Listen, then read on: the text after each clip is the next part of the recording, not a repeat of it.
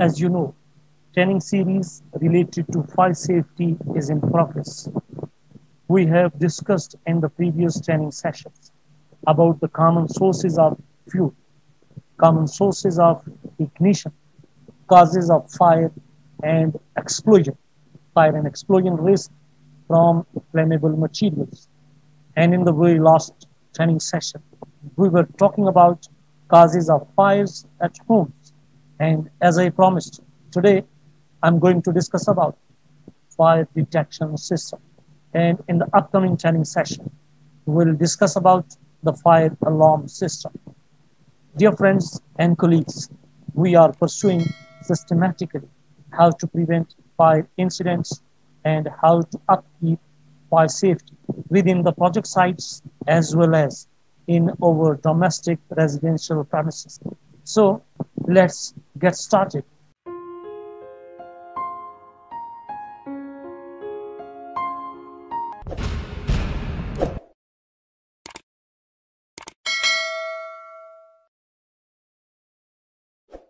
To detect a fire, fire detectors are in use. Fire detectors sense one or more of the products or phenomena resulting from fire, such as smoke, heat, radiation, light, or gas in dwellings.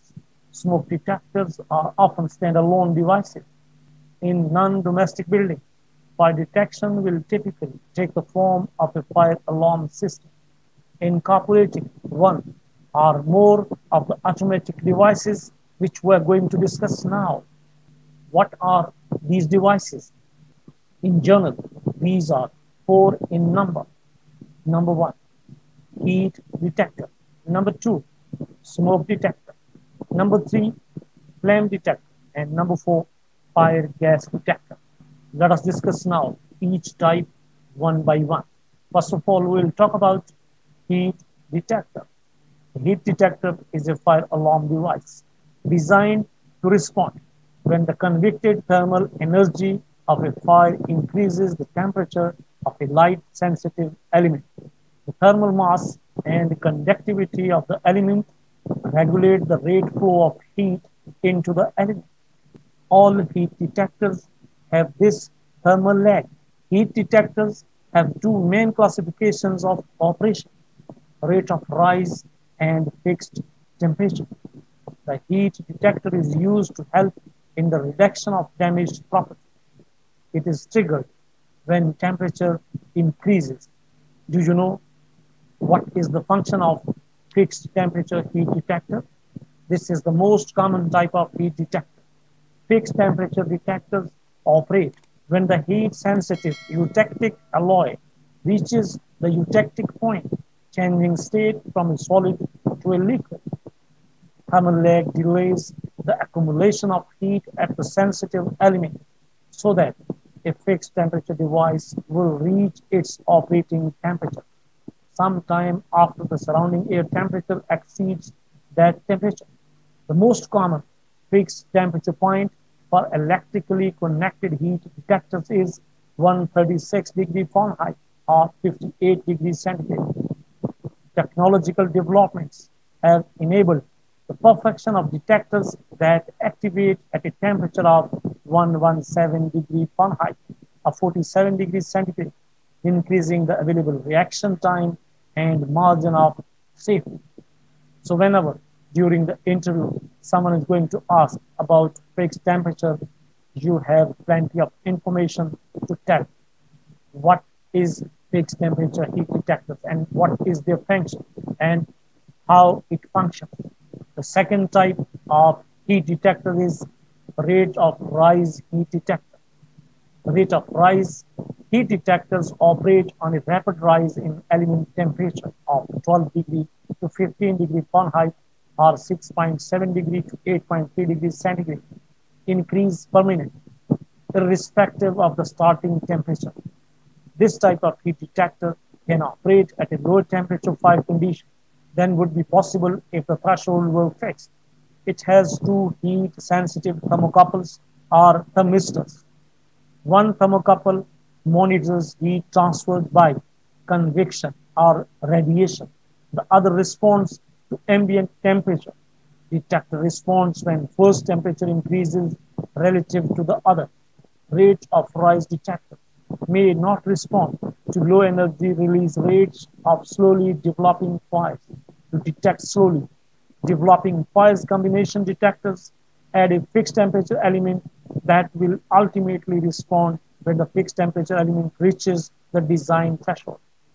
So these are the information are the specifications about rate of rise heat detector and fixed temperature heat detector. These are the examples of rate of rise detector and fixed temperature detector. Fixed temperature detector on the right hand side and rate of rise detector on left hand side.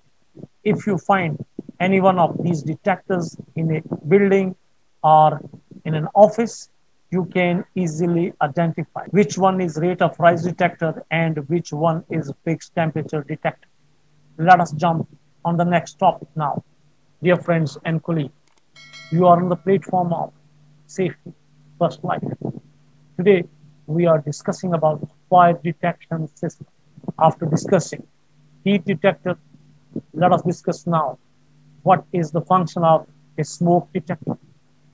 A smoke detector is a device that senses smoke, typically as an indicator of fire.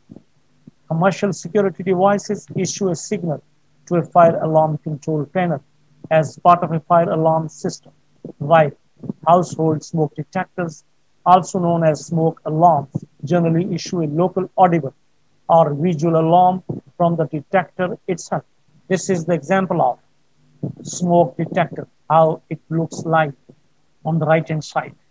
This is the way how a smoke detector works. There are lenses, alarm, alarm device, photocell, smoke particles, and light catcher as we discussed about the two types of heat detectors. There are three types of smoke detectors. Number one, ionization smoke detector. Number two, photoelectric or optical smoke detector. And number three, carbon monoxide and carbon dioxide detection.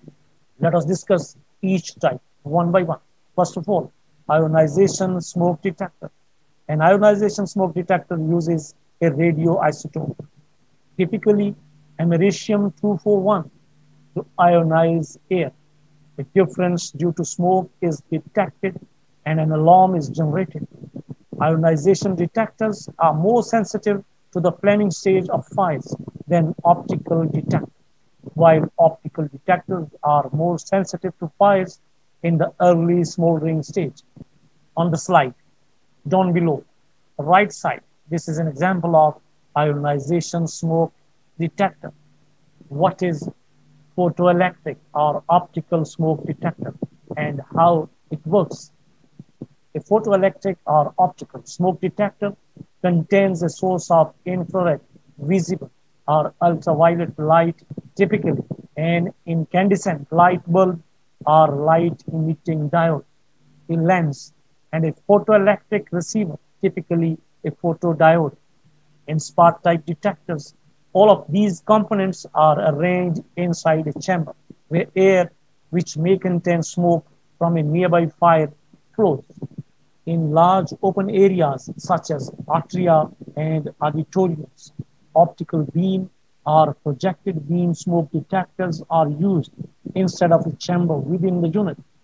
A wall mounted unit emits a beam of infrared or ultraviolet light, which is either received and processed by a separate device or reflected back to the receiver by a reflector. So these are the different parts and the way how optical smoke detector works. But in some types, particularly optical beam types, the light emitted by the light source passes through the air being tested and reaches the photosensor the received light intensity will be reduced by absorption due to smoke, airborne dust, or other substances. The circuitry detects the light intensity and generates the alarm if it is below a specified threshold, potentially due to smoke. Down below, this is the shape how optical a photoelectric smoke detector looks like. And on the left side, these are the different components and the circuit of photoelectric or optical smoke detector. But remember, in other types, typically chamber types, the light is not directed at the sensor, which is not illuminated in the absence of particles. If the air in the chamber contains particles, smoke or dust, the light is scattered and some of it reaches the sensor, triggering the alarm. Do you know the main components of optical smoke detector? Number one, optical chamber. Number two, cover. Number three, case molding. Number four, photodiode detector. And number five, infrared LED. Dear friends and colleagues, you are watching Safety First Life. If you are new on this channel, kindly subscribe and press the bell icon. Let us discuss now the third type of fire smoke detector that is carbon monoxide and carbon dioxide detection. Carbon monoxide sensors detect potentially fatal concentrations of carbon monoxide gas, which may build up due to faulty ventilation, where there are combustion appliances such as heaters and cookers.